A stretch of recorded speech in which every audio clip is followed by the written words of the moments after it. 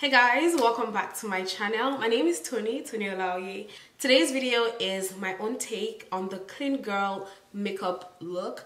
This is how I have been doing my makeup for the last couple of months and it's been fantabulous. I'm also going to be talking to you guys about what I know is on everybody's mind, okay? And without further ado, let's get right into it. If I'm the only one seeing this, you but for the past two weeks now, if I look left, if I look right, everybody has done nyash. Everybody has done bomb bomb now.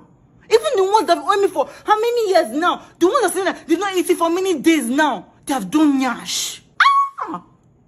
And you will come and tell us self-love. You come and tell me self-love. Or you tell me that you went to the gym. It's gym that gave you that nyash. It's gym. Let me calm down. Because they say if something is making you happy, do it. But you see me, you cannot collect my happiness. I must join this self-love. By fire, by thunder.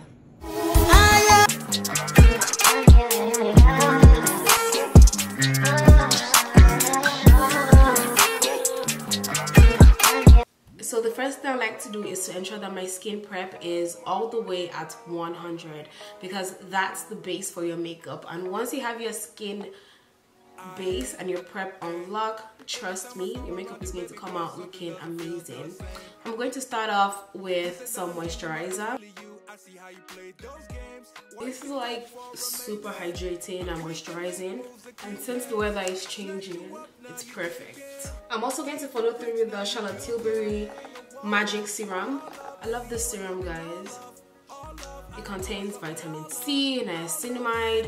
It allows your skin to look fresher, younger and brighter. Let's get that all in there. Now that my skin is taking in all this moisture, I'm going to go ahead and do my brows. I'm going to go in with my Anastasia Brow Wax. I like applying it backwards first. And then I'm going to go in and brush it in the direction I want my eyebrows to fall. Then I just like to take either my finger or whatever and just flatten my brows even more.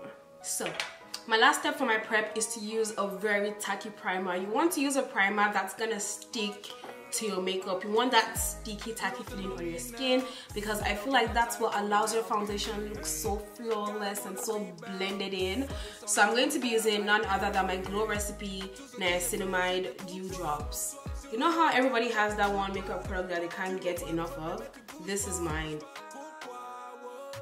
So the main reason for doing this video is obviously as you guys can tell from my Instagram and my pictures and my Snapchats you guys can tell my body looks a little bit different I'm not gonna lie damn I feel like I haven't done this in so long that it's hard to do my makeup and talk at the same time. I didn't want to come on here and just keep on doing my vlogs and my makeup tutorials and my hair tutorials and not address anything because I don't want to come across as a hypocrite. Because one thing I don't like is a freaking hypocrite.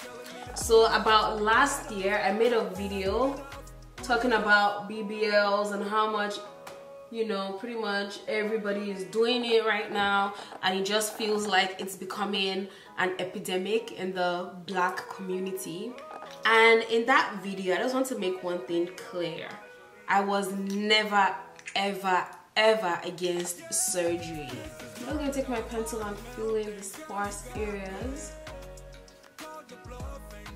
and that's all I do to my brows. I don't conceal the top anymore. I don't do none of that. And my eyebrows always come out looking flawless. So let me go ahead and blend out the concealer. Let's move on to my foundation and my base. I'm using my NARS Light Reflecting Foundation. So yeah, like I was saying, I wasn't you know, ever fully 100% against plastic surgery. I never came on here and I was like, I would never get plastic surgery. No, I was always like, if I want to do it, I want people to do it for them. And I never believed in 18, 19, 20 year olds getting plastic surgery because I always said that bodies weren't fully developed. And I also said like if anyone was getting plastic surgery, they have to ensure they are doing it for themselves, not for the validation of other people. And that was my stand on plastic surgery. But obviously i didn't want to come out here with like a whole new body a whole new ass a tinier waist and pretend like nothing is going on. Because that's setting a bad example for you guys and that's me being hypocritical. And those are two things i never ever want to do. So yeah, I really hope that clears up that. Just in case anybody is having any doubts or still wondering, yes, I got my body done recently. Um, I'm not going to come out here and encourage you guys to get your bodies done or to go under the knife. Like, I'm never ever going to do that. We all just heard what happened to Spice. She went to the Dominican and, you know, she was in a coma. So it's it's not a small feat to do and that's why I would never come out here and say, you know, you guys go get surgery whenever you want, blah, blah, blah. No, you would never catch me dead doing that. But yeah, I did get surgery. Um, I don't want people looking at my body and being like, oh my god, she got this body in the gym. Because yes, and as much as I worked out, going to the gym never gave me the body I have now. It added to it, but it never fully gave me that body. And I'm not going to be one of those influencers that would go and get their body done and come back and be like, oh, everything was in the gym. I hope you guys are good now that I have addressed this. Taking in my Juvia's Place concealer. I'm going in with a darker shade. This is more skin-like. And I'm just going to go ahead and apply a little bit. Then I'm going to go in with the lighter shade. That's pretty much all I have to say about getting my body done. I hope that has cleared up a little bit of confusion and you know because sometimes I see you guys tussling in the comments oh did she get her body done? Did she not get her body done? I know Toni Toni has been going to the gym for years and I thank you guys so much for um, you know doing that but I just want to be honest moving forward. I don't want confusion. I, I'm not going to say where. I'm not going to give out my doctor's information because if you're choosing to go down that path the least you can do is do your own research into the clinic you're going to use, into your doctors and all of that stuff.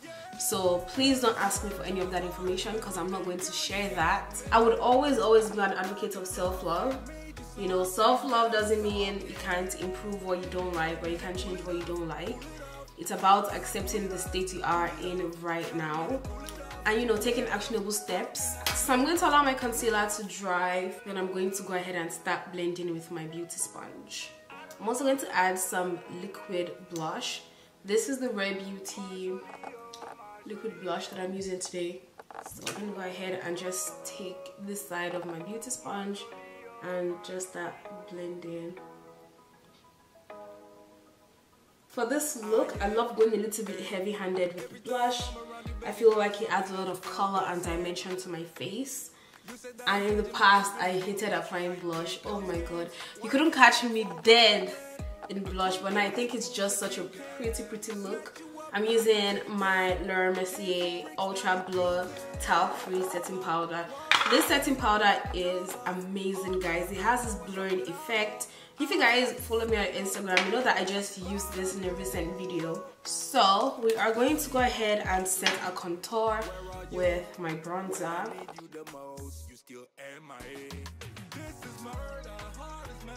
The most important thing I need are a pair of lashes and I'm going to do like a very nude color on my eyelids just to add a little bit more depth. These are the lashes I'm going to be using today.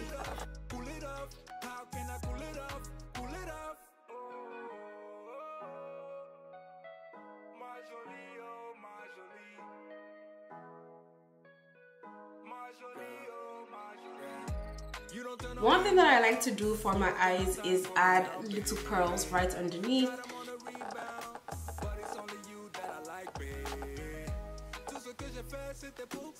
I'm going to line with the Charlotte Tilbury Pillow Talk Lip Liner.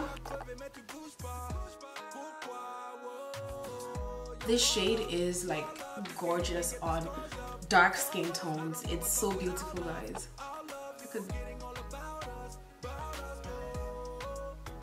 The last step is to set the rest of my face with the Laura Mercier Translucent Setting Powder.